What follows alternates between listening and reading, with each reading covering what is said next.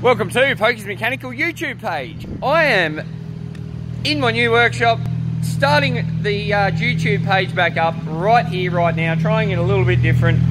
Um, I was talking to Second Stage on TikTok and YouTube.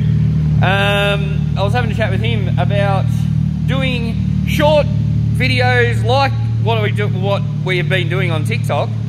Um, on YouTube and see if it works. So I'm just going to do a couple of updates each day on YouTube and see if it takes off and see if you guys can start following me. But I'm just doing short format, no editing, no bugging around, no thumbnails, nothing.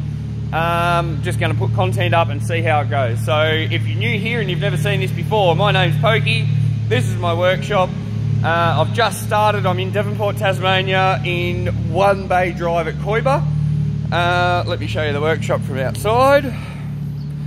Look at this massive place. Look at that. This is Pokey's Mechanical. Let me take you in. I have a work ute.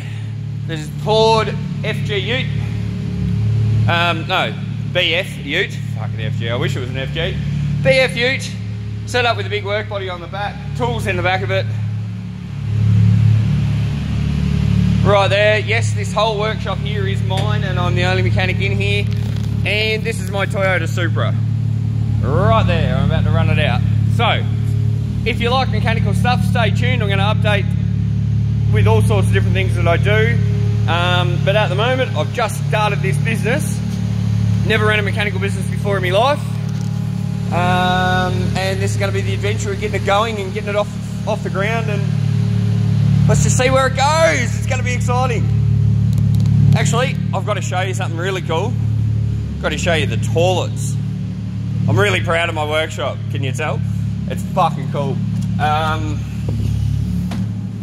I have the nicest toilets in Australia for a mechanic workshop. Check this out. Can you tell it's a bloke's toilet? The seat's still up. That looks bad. Look at this. Check it out. Yes, I'm using the front camera. And if you come to Pokey's Mechanical, we have a kitchen where you can make your own coffee or we'll make one for you if you're waiting and all that sort of stuff. All right, we're gonna go short format. This is two minutes 30, it's already too long.